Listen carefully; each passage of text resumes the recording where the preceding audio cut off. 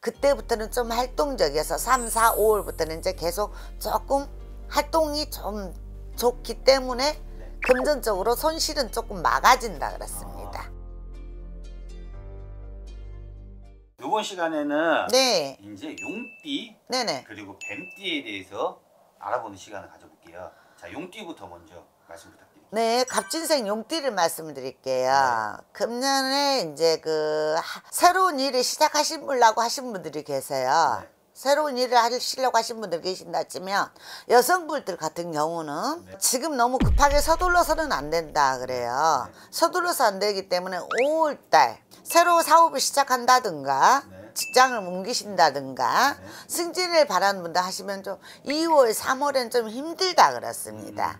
그래서 5월에는 내가 보기에는 사업을 하실 분은 그때 시작해도 늦지는 않는다 그래요. 네. 그래서 그때 시작해서 준비해도 되고 안 그러면 그때 못 하실 경우에는 7월, 9월 네. 이렇습니다. 그때 하셔도 늦지 않았기 때문에 좀 서두르지 않으셔도 되고요.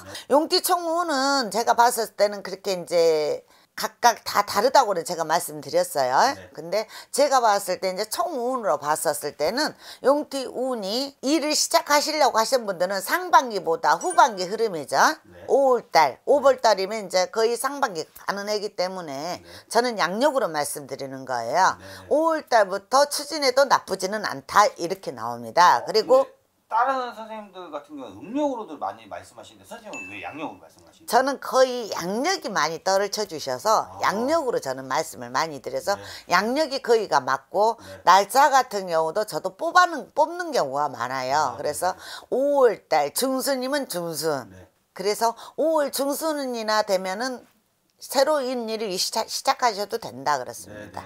자 그러면은 네. 자, 이번에는 뱀띠 한번 가볼게요. 뱀띠 정사생 뱀띠로 갈게요. 네. 45살이죠. 네. 사업하신 분들은 43, 44, 45이 굉장히 좀 힘들었을 겁니다. 힘드신 분들이 계셔요. 음. 네. 근데 이제 그 외로 이제 다르신 분은 운이 좋으신 분들은 굉장히 또 의외로 돈도 많이 버신 음. 분들이 계세요. 그렇기 때문에 주식으로도 하신 분도 계시고 가상화폐도 막 투자하신 분도 계시고 네. 그런데다 투자해서 힘드신 분도 계시고 버신 분도 계시고 그렇습니다만은 그건 좀 잘 선택을 하셔야 된다고 이렇게 나오고 부동산 쪽으로는 손을 대도 된다 그랬습니다. 네. 그러면은 네. 뱀띠 분들 총 오늘 한번 말씀 좀 해주세요. 뱀띠가 나가는 삼재입니다. 네. 나가는 삼재여서 작년 12월, 1월, 2월 네.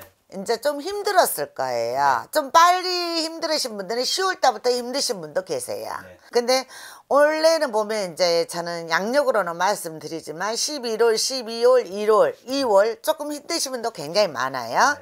근데 제가 보기에는 3월부터는 뱀띠 운들이 조금 움직이기 시다- 시작한다 그래요. 그래서 뱀이 겨울잠을 자고 일어난다 그러죠.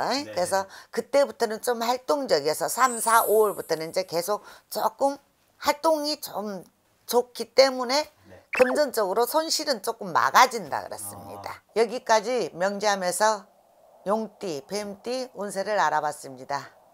감사합니다.